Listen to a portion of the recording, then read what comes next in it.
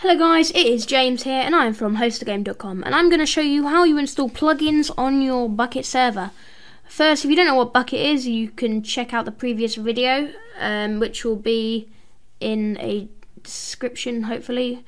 Um, yeah, so uh, to install a plugin, you need to have your Bukkit plugin ready, uh, Bukkit uh, installation ready, and then you want to get your plugin. Here we have example plugin, and you want to drag it into the plugins folder.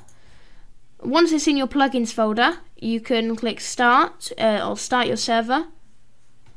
Um, I'm sorry about that noise going off. I will turn that down. Apparently I can't. Uh, you'll see your server start to load and it will say done. Now if you type in chat slash plugins or there you go. It will say the plugin. I've, it's called Kill Avoid. This plugin, brilliant plugin.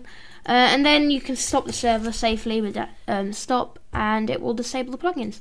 Hope you found this tutorial useful. If you need more tutorials, just check out the page. And uh, thank you and goodbye.